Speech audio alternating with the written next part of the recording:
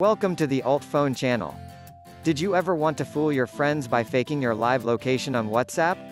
Yes. There is a trick with which you can share fake live location on WhatsApp and prank your friends. Watch this video to the end. This will be fun.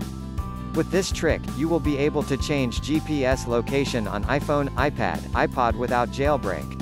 UltFone iOS Location Changer is a tool with which you can share live location on WhatsApp. You can find the download link in the description below. Follow the steps shown in this video to change your location.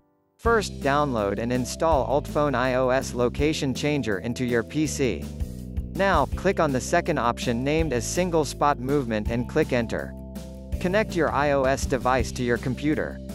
You will see a map on the screen and start and end point on the left side.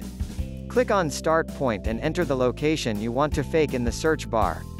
Select your location or you can simply click and drop the pin on the map. Now do the same process with the end point.